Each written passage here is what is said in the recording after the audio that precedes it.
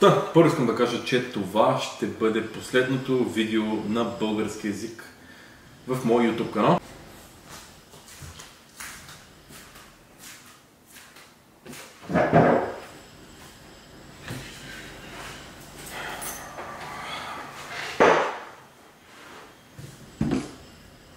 Здравейте! Тук е AFBB Pro Валентин Петров. Най-накрая мога да кажа това нещо. Беше ми мечта да мога да го кажа като изречение. И ето ни, след състезанието Арнолд Класик. общо взето, извинявам се, че толкова много време не съм качвал никакви клипове. Това видео ще бъде подробно за всичко, което се случва с мене, кой съм аз и така нататък. Останете до края, за да научите неща, които няма къде да научите другаде, освен от мен. Съответно, никъде не съм ги казал или много малко хора ги знаят за мене. Така че ако искате да разберете повече, останете до края на клипа. Та, първо искам да кажа, че това ще бъде последното видео на български язик в мой YouTube канал. Защо? Защото аз съм преценил така. Преценил съм, че обожавам си българската аудитория. Радвам се супер много и благодаря на всички, които ме подкрепят. Но винаги съм искал още от малък да достигна до по-голяма част от аудитория, като съответно български язик не може да ми предостави това мое вътрешно желание, което имам. Защото това е един малък процент от населението на света. Както знаете, английския е световно говорящ език и подобни YouTube контенти, които са на английски, могат да достигнат до много по-голяма аудитория, отколкото да правят само на български.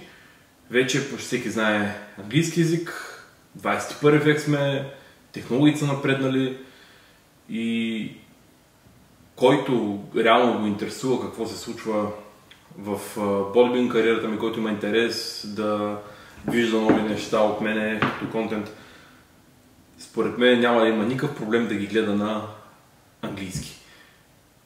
Така много хора ме опрекнаха за това нещо и ми казаха, че какъв българин си, като няма да ги правиш на българска видеята, каква е файдата от това, че си про-българин. Ами не. А, истината е, че аз търся развитие и не искам да имам таван на развитието. Под това нещо имам предвид езика. Значи езика е голяма граница. Аз самия за себе си, като говоря повече на английски, като давам контент на английски, мога да се докарам повече и клиенти с онлайн коучинга ми, с бодибилдинг видеа и така нататък, с всичко, което е свързано с моя спорт, защото това ни е 8 до 5 работа да седнеш и да знаеш, че ще ти платят в края на деня. Това е малко несигурна работа с този спорт. Един ден може да има, друг ден може да няма. Така че, за да е по-сигурно за мен, а, съм преценил от тук нататък всичко да бъде на английски, който ме подкрепя, който ми е а, последовател. Не, не харесвам да употребявам само думата фен. Ще продължава да ме следва нали, и да ме подкрепя дори когато правя на английски видеята. Естествено, вие може да ми кажете дали искам да добавям, дали искате да добавям български субтитри към тях. Ако имате желание да виждате и български субтитри, ако някой от вас не разбира английски, с удоволствие ще слагам субтитри към всяко видео. Та, нека започнем. Та започвам начало. Кой съм аз? Всички новодошли в канала, аз съм Валентин Петров, роден съм в град Русе, България, на 22 години, като скоро имам рожден ден и ще правя 23 февруари месец след два месеца, три. И се занимавам с бодибилдинг. Моята, моята, моята, ще почна от там, че на първото ми нещо, с което се занимавах, или по-точно това, което тръгнах да уча, беше компютърна техника и технологии. В електрото в Русе. Град Русе. Който знае електрото... да. Преди това се занимавах много с uh, гейминг. Някои от вас могат да знаят пряко в Dubplay. Да, това съм аз. Uh, едно време, може би преди десетина години, в момента съм на 20, значи около 12-13 годишен, като бях занимавах с YouTube видеа, VBOX видеа и бях геймър. Бях един така от по-прочутите геймъри в България тогава. Uh, но момента, в който влязох в електротехникума и почнах занимавам с културизъм, с фитнес. Тогава не беше културизъм, тогава беше просто фитнес, тренировки. Спрях да обръщам внимание на гейминга, продадох си геймърския компютър тогава и всяка една стотинка отиваше за добавки, за храна, като още от тогава имах намерение да се занимавам така професионално с този спорт и един ден да съм тук, може би където съм сега, въпреки че има още много дълъг път, който да вървя и сега те първо ще става интересно. Та, Занимавам се с фитнес от 16 годишен. Тогава влязох в залата и Кристиан Чубуров, моят треньор до ден днешен, правих гребане с дъмбел и ме видя, че го изпълнявам грешно. Влези, дойде и ме поправи. И така се заговорихме, той ми каза, че е треньор. Но все пак аз продължих да се тренирам сам. Следващата седмица пак правих гръб и пак има гребане с дъмбел и пак го изпълнявах грешно и той пак дойде и пак ме поправи. И от така се почна вече работа съвместната с него. А, говорим края на 16, начало на 17 годишната ми. Почнах подготовка за състезание в България. Исках да изляза на юноши, културизъм, надъхах се, хареса ми как физиката ми тръгва, спрямо тренировките, които правях и храната, която ядох. Аз ядох много. Като цяло в геймърските ми години аз не сядах на компютъра без 2 литра Кока-Кола до мене и без 2-3 дюнера. Буквално изяждах голямо количество храна. Но никога не съм напълнявал, винаги съм стоял с преса, винаги съм бил във форма, така мога да, нарека, за, за количеството храна, което изяждах на тези години и за на движенията, които имах, които не бяха много. Нали, тренирах, излизах, играх и футбол съм играл, и баскетбол, и какво ли не съм играл, и какво ли не съм тренирал. Но някак си физиката ми просто не искаше да... Стоеше, стоеше, смисъл не надевелявах. А наистина аз не, не сядах на, на компютъра без 2 литра Кока-Кола до мен, която беше не диетична, която беше само с захар. И съм стоял до 4-5 часа сутринта, може би почти всеки ден да играя на компютъра и да си снимам видеята за YouTube и за VBOX. И да, ще да ставам геймър. И изяждах наистина много голямо количество храна, никога не бях влязъл в лоша форма. Та, когато почнах да тренирам, тялото ми респондира на тези тренировки, понеже тренирах много тежко. Тогава гледах хора в YouTube като Jeff Side, като Ziz, като по-такива фитнес модели. Всъщност и културисти гледах естествено. Рони Колман, Джей Котвър, така нататък. Гледах ги и тях и събирах наистина много мотивация. Калан Вон Могър гледах също много. И събирах много голяма мотивация. И наистина бях брутален в тренировките. Като след два месеца тялото ми наистина респондира и видях как получавам V-shape, гърба ми става по-голям, с рамената, малка талия, краката ми ги тренирах брутално яко, треньора ми тогава, Кристиан, ме натискаше много на крака, може би на 16. Тогава всъщност фитнеса не беше толкова набъбнал, както е, не, както е в момента, както е днешно време. Тогава беше нещо като средно положение, тък му почваше.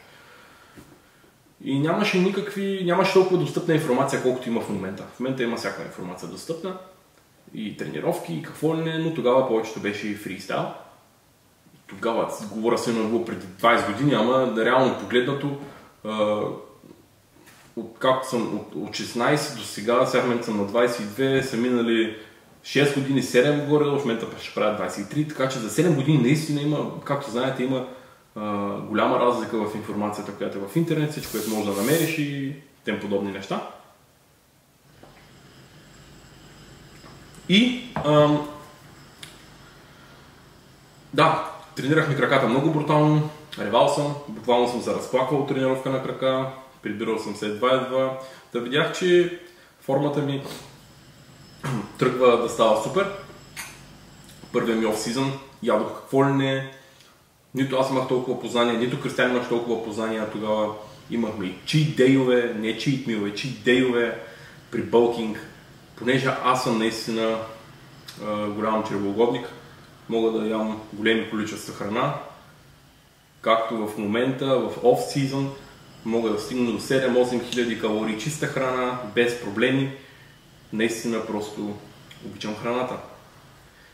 И когато съм на диета, Кристиан винаги ми държи калориите сравнително по-високи, въглехидрат е сравнително по-висок, като ми слага повече кардио, повече движение, по-брутални тренировки, защото съм малко а, ненормален с тренировките и тренирам като луд. И да, та, видях тялото ми как респондира на това всичко и ми хареса. И казах, съм се подготвен състезание и решихме да изляза, да изляза април месец на пролетни състезания в България. Съответно, за първи път подготовка, за първи път в диета, след това тогава нали, взех, както казах, съм казал в други видеа, за първият ми цикъл с 20 мг стромба, което е нищо. И излязох и спечелих първо място при юноши до 70 кг. Хареса ми спорта, хареса ми мириса на боя, атмосферата, всичко. Влюбих се още тогава, наистина се влюбих в този спорт и казах това ще бъде и си казах ще се занимавам с това. Спрях да обръщам внимание много на училището, спрях да обръщам внимание много на компютър техника и технологии, програмирането, защото имахме и програмиране. На всичко, което го учихме, спрях да обръщам внимание, като обръщах повече внимание на биологията, на химията не обръщах, защото просто никога не съм бил добър в училище, никога не може да се задържа вниманието в даден предмет, но за биологията, специално за биологията, гледах да си държа вниманието колкото се може повече, като от това, че не обръщах внимание толкова на предметите и на, на паралелката, която съм, нали, компютъра, техника и технологии, гледах да се уча за спорта ми поне. И това беше изцяло на моя глава. Да вляза в интернет, да прочита информация, втори, трети, пети, десети сайт, да сравня, докато не стигна така до истинската информация. И а, с времето почвах да, да научавам все повече, все повече, все повече. Имах си тогава няколко момчета, дето ги тренирах, получаваше се при тях, имаха супер резултати и си казах, че може би ще стане това нещо, което искам. Но финансово не е никак лесно, особено да живееш в България, да си тинейджър, ако нямаш богати родители, да можеш да го правиш на 100%. Аз не идвам от богато семейство. Винаги съм на подкрепяли, помагали са ми и за спорта са ми помагали, с било то с парично и а, ментално, така да кажа. Но не е, да, не е било нещо, което е за 100% сигурно, че утре ще го има като помощ. Та, защото самия спорт е много несигурен. А, малко успява в този спорт. Много малко хора не вярваха, че... Много хора не вярваха, че не могат да станат професионалист. Това е лудост. Колко са професионалистите в България. Знаеш какви разходи са, колко жертви трябват. Еми да, знам. Аз бях този, който е готов, беше готов и в момента все още е готов да направя всяка жертва, за да стигне там, където иска в спорта. Било то да се лишиш от партията, да се лишиш от излизания, да се лишиш от време с семейство, да се лишиш от, от какво ли не, от какво ли не всъщност, защото съм се решавал от много неща през изминалите години и не съжалявам за което. Изживях си, така мога да кажа, дискотечните години, да ходя по дискотеки и така нататък на 17-18 годишна възраст. Рано ги изживях и никога не съм бил чак толкова голям фен на този нощен живот. Предположение, че съм много м- много съм hard on myself на английски, не знам как да го кажа на български, но съм много строг върху себе си, може би, и имам толкова желание и хъс да успея в това, което правя, защото знам, че, както казах, не идвам богат семейство, знам, че имам кратко време в момента да мога да натисна колкото се може да се развия повече в тази сфера, за да един ден да осигуря аз паричните средства или било то хубавия живот на моето семейство. И за това имах цел да стана професионалист колкото се може по-рано в моята възраст. В момента, както знаете, аз съм най-младия професионалист в България, на 22 години, което за мен е постижение. Горд съм със себе си.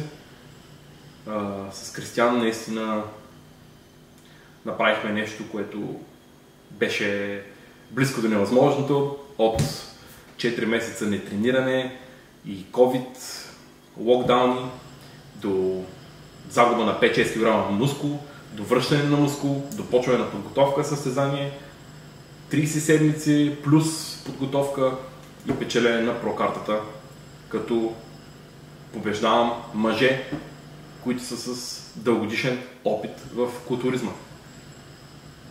Което е просто нещо голямо за мен. Нещо голямо. И съм щастлив за което, че можах да, че можах да го направя изобщо. Но има една работа, че аз вярвах много в себе си, че мога да го направя. Защото не мислех за, много, ням, не мислех за други неща. Мислех единствено изцяло за тази прокарта и как ще я спечеля на тази възраст и как ще съм най-младия професионалист в България. Манифестирах го с месеци наред, с години. И го виждах. И просто работех за него. За да се върнем малко назад. На 17 години излязох на второ състояние в България, на юноши пак, но категорията беше над 80 кг. Първо беше до 80, после беше над 80 или до 85, нещо такова. Като пак станах първи. Пак съм с Кристиан. До, до ден съм с Кристиан. Кристиан винаги ме е подготвял. Друг треньор съм нямал. Обзето всичко, което чуете, благодаря на него. Ам, излязох на България, както казах. Втори път станах шампион. И следващата година завършвах училище на 18. Завърших училище и се влюбих в едно момиче. Тогава заминах за Австрия. Понеже тя не беше от България, а беше от Австрия. Много от вас сигурно не знаят, който я знае, знае, няма значение, не искам да споменавам имена. Заминах за Австрия и живях там две години. Значи от 18 до 20 годишна възраст бях в Австрия. Това много хора им се губи тук филма с мене и Австрия. Защото видяхте скоркарда в Инстаграм, който бях сложил и там пише, че съм в Австрия, че съм от Австрия, не от България, което беше изцяло грешка на федерацията. Но го правиха, няма значение. Та живях в Австрия две години. Там работех първо на полето, събирах ябълки, събирах круши, като това с ягодите, които го правят в Англия само че в Австрия. От там чистех машини, гадна работа, неприятна, но всеки един лев, който изкарах, го влагах в спорта си, като се пробвах преждевременно да не лишавам човека до мен от, от нормалните неща в живота, които трябва да имат и тинейджери, да излизат, било то да, на вечеря или на дискотека, на бар, на, няма значение, на ресторант гледах да балансирам нещата колко се може повече. Въпреки, че исках вътрешно всичко да го сложа в спорта, но когато с някой, ти трябва да обърниш ти, ти с него с причина. Не можеш да си егоист. Та, да. А, след това почнах... Първо да кажа, че отидох в Австрия без да знам немски език. Отидох само с английски. Карах курс по немски и третата ми работа, която беше, първите ми две работи работих предимно с българи и с сърби, така че нямаше особено говорене на, на, бъл... на немски язик там. дочувах, дочувах, от приятелката ми пишат ми оттам някои думички, изречения. Почвах да го разбирам горе-долу, карах курс, от курса някои неща и след това м- почнах да работя в фитнес зала като персонален треньор и там тогава реших да почна подготовка за състезания отново, като имах една година почивка от състезания и по време, когато почнах да работя в залата, до края, докато не, не станате да ме изгонят от там, ще кажа защо ме изгониха, всъщност няма да не за подробности, ама отгоре-отгоре. Вече може и горе-долу да говоря немски, колко да се разбирам с хората, да знаем какво искаме, така нататък. Немски е труден език, общо взето. И не, до ден днешен мога да го говоря малко или много, за да се, колко да се разбирам с хората, да знам какво той иска и какво аз искам да му кажа. Но цялата работа научих и сръбски язик. Сръбски, да, като българския, не точно, но общо взето а, има разлика, голяма, но го научих и него, понеже има много приятели сърби, които до ден днешен търсят и си държим връзка. И в Австрия има много сърби, общо взето. И нямаше начин да не го науча. нямаше начин да не го науча. Защото език се учи с, по-с комуникация, отколкото да седнеш и да го четеш и да го учиш. Когато комуникираш с някой, аз по този начин повече научих немски, отколкото от курса. И то е от комуникацията ми с хора. Та, почнах подготовка за състезание. Тогава а, имах, дойде, имаше един магазин за добавки в, в близо до градчето, което живеех, понеже те бяха, бяха малки градчета. Беше много хубава част на Австрия, ние във Виена, е в по-към швейцарската част.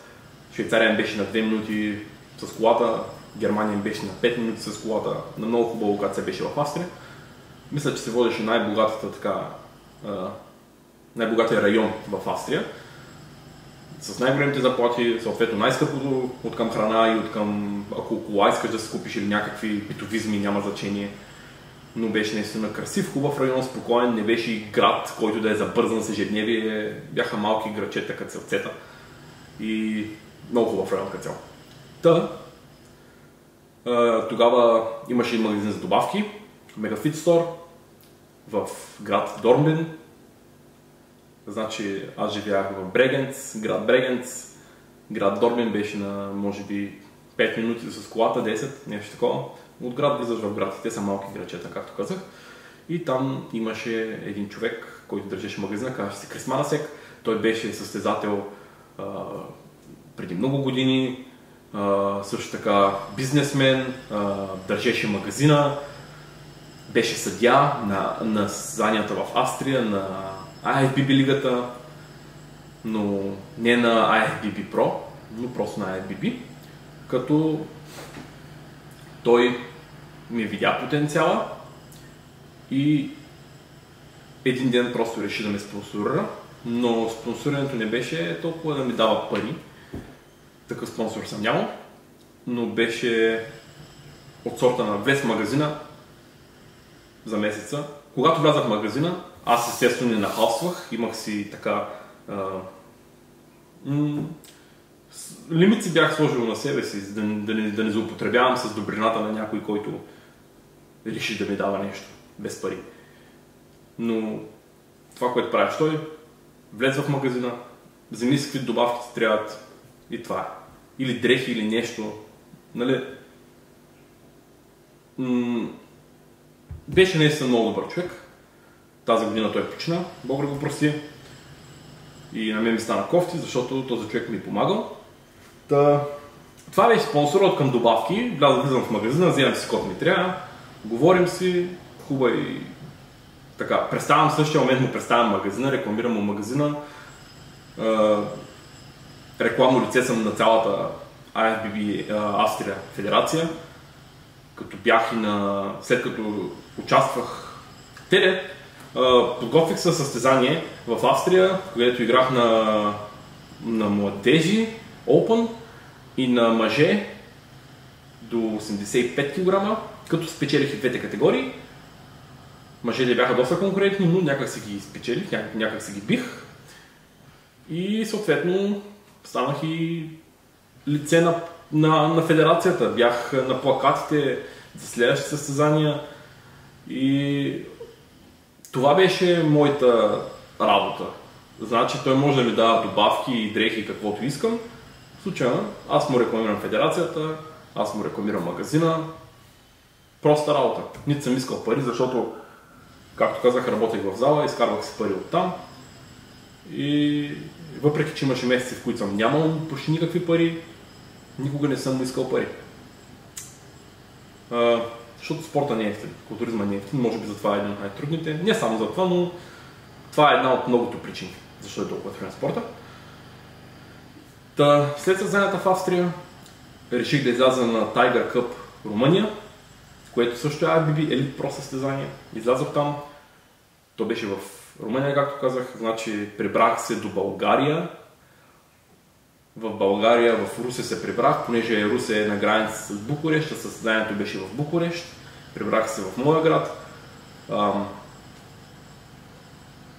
Тогава имах кола, взех си колата от България, отидох на състезанието сам. Значи бях, имах двама-трима приятели с мене, и които бяха там да ме подкрепят и да ми помогнат за последните дни. А, но тогава спечелих на младежи Open до 23 години, нещо такова, да. И се класирах четвърти на мъже до 190 кг, като можеше и трети тогава. И ако бях трети, ще да спечеля Елит Про карта и кой знае на къде ще ми тръгне пътя, така че по-добре, че не съм спечелил тази Elite Pro карта. Но това може и трети, както казах, но съдиите сложиха техен човек на трето място, като видимо той беше в много по-лоша кондиция и много по... не изглеждаше добре от мен, от мен по-добре от мен. Аз по принцип много много ме бъркат тези неща, но тогава имаме снимки, с просто очи мога да се види, че цялата работа беше корумпирана, плюс това той беше италянец, всичките съди бяха италянци. То е ясно, че ще искат да сложат техен атлет преди български, като разликата беше естествено с една-две точки. А, нали, да сме били на косъм и той с малко да ме е бил, но няма значение. Радвам се, че не стана така, радвам се, че а, станах четвърти и не спечелих елит про картата. Та, след съседанието веднага трябваше да пътувам за Австрия, понеже бях на работа следващия ден и трябваше, т.е. до Австрия са ми 24 часа горе-долу с кола от, от Румъния или до България. Но понеже аз бях след състезание уморен, изтощен, беше наистина много трудно. Малко смених обстановката, но няма значение. Та, докъде стигнах? След като а, свърши това състезание. Трябваше да пътувам отново до Австрия. Пътувах с кола около 30, 30 и няколко часа, като имах един човек с мен, който нямаше книжка. А, и общо взето карах само аз. Той беше там за да ми говори, да не заспя, защото състезанието ме беше изморило много, диетата и да си адекватен, да караш толкова време е просто много сложно. Стигнах до Австрия някъде, може би за ден и малко, за около 30 часа, 32 до 6 часа да съм стигнал. И два дена по-късно, като трябваше да върна момчето до летището, понеже станахме много рано, а имах още едно състезание, което идваше в Швейцария, и трябваше да стане нещо от сорта на 3-4 часа сутринта, за да го закарам до летището, което беше в Германия на един час път. Но имах един час път на обратно. Трябваше да отворя залата много рано, може би в 6 часа сутринта трябваше да отворя. И преди да отворя трябваше да направя кардио, около 30 минути. След което да почна да работя. Та, закарах го, но бях много изморен този ден, понеже не се бях наспал. След състезание само още един-два дена гладен, пак съм в режим, защото имам още едно състезание, което идва тогава. Направих три състезания, едно след други. Е, и закарах го и той видя, че ми се доспива. След което ми каза да се обадя на някой да говоря за не заспя. Понеже в колата ми се беше щупило радиото, нямах музика, както казах, бях сам и нямаше с кой да си говоря, да се разсейвам или някой друг да кара вместо мене. То взето всичко беше на ръж, на пълен ръж и исках да стане точно до момента. Та, това което стана, закарах го и на връщане катастрофирах, понеже заспах на блана с 140, блъснах се в задницата на тир, като след това се изместих в... Тира беше в дясната лента, аз се набих в него, изместих се в ляво, капака на колата ми се е вдигнал, колата пуши и спирачката ми е потънала. Само се моля да спра някакси, по инерция, за да не се блъсна още някъде, или да, да не блъсна някой, или да не убия някой, или да не убия себе си. А, дръпнах ръчната, спрях някакси и ми нямаше нищо. С 140 в спрял тир ми нямаше нищо. Бях само с лек удар на капачката, малко ме беше, болеше коляното, болеше ме около няколко дена и ми се беше разбил остата от теребега, който естествено изскочи. При удар с 140 нямаха да не изскочи. И да. Тогава задържах много вода. Колата отиде на скраб, защото нищо не ставаше от нея. Двигателя беше влязъл много навътре. Брутален удар. Разминах се наистина на косъм тогава. Те имах още едно състояние, което беше след седмица, може би, след катастрофата. И тогава бях задържал много вода поради стрес и бях ял някакви неща. Не, всъщност не бяха, не, не, тогава не ядох нищо, но бях задържал вода заради стреса, определено. И ам, трябваше да я сваля, свалих нещо от сорта на 6 кг за един ден, с сауни. Ужас. Ужас. Съответно влязах в категория и се състезавах в Швейцария, като участвах при мъжете до 90 кг и станах шампион отново. Въпреки катастрофата, въпреки всичко, моята жажда за победа беше толкова голяма, че нито едно от тези неща, които ми се случиха, не можаха да ме спрат. Съответно, след това състезание, състезателният период за мен, сезон, за мен приключи. Влязох в оф-сизън, почнах да качвам и малко преди да почна подготовка, това става въпрос за 2020, когато настъпи коронавируса. Малко преди рождения ми ден, февруари месец, се разделих с приятелката ми, тогавашната. Четири дена преди да се Четири дена след като се разделях, разделих с нея, почина баба ми. А, баба ми беше болна от рак. Откриха рак на баба ми и на дядо ми по едно и също време. И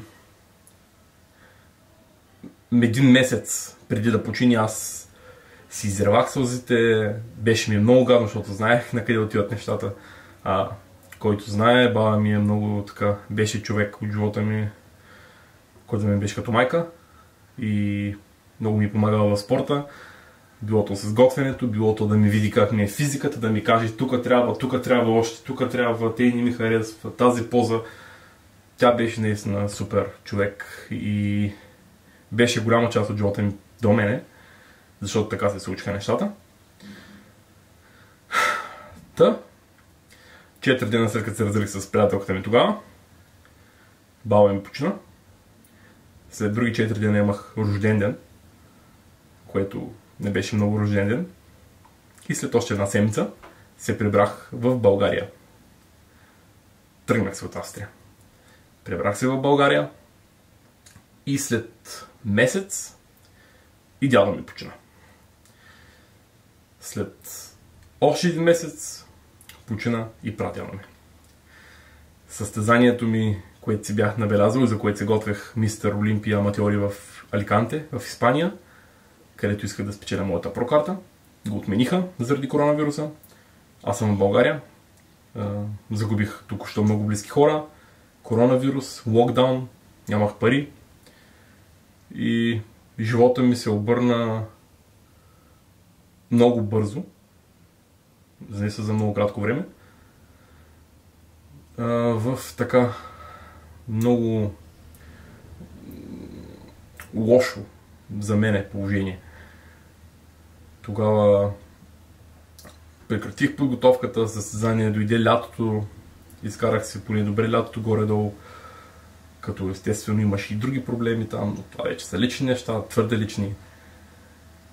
Но, заминах за Англия, януари месец, като работех нощни смени в Англия, понеже трябваше да изкарам пари. В България няма да изкарам такива пари, които мога да изкарам тук. Работех нощни смени, прибирах се 5-6 сутринта. И тогава не тренирах, както казах, имах 4 месеца почивка, без никакви тренировки. Реално това беше момента, в който ни спазвах режим, ни спазвах диета, нищо. Тренировки, абсолютно нищо. Единствено само работа, да изкарам пари, за да се подготвя за състезание отново. Март месец отвориха залите в Англия. Лека по лека почнах да навлизам с тренировките и с всичко. И в средата на март почнах подготовка за състезание, която продължи до преди една седмица. Почнах да подготовка за състезание. Май месец се прибрах в България за лятото. Останах си до септември и сега септември дойдох две седмици преди Арнолд, за да се нагодя на времето, на всичко, на обстановката, за да може да довърша подготовката както трябва и да си изляза на Арнолд Класик. Та... Да, състезанието, тази подготовка продължи около 36 седмици, като сега след Арнолд реших да играя и на Poland Pro Show, след като вече взех про картата. Значи станах, за всеки, който не знае, станах професионалист на Arnold Classic. Направих си дебюта на професионалист вечерта. Станах трети на дебюта си, като се разминах с една точка с втория, така че можеше и втори. Но реално втория е малко или много име и щеше да е доста а, срамно, може би, да го сложат зад мене, като аз един току-що станал професионалист и той като име. А, разбира, нали, разбираемо е това нещо. И не ги съдя за което. Нито съм разочарован, нито нищо. Даже съм много доволен, защото свършихме работа за сезона. Аз трябваше да стана професионалист тази година. И така и стана. Та, да. А, но реших да направя и Pro Show, като, както казах в Instagram поста ми, малко преди състезанието, буквално 30 минути преди състезанието, преди да ми сложат тена, ми се развали формата, като в един и половина на обяд, след обяд, бях в топ форма, бях в форма реално по-добра, от която бях на Арнолд.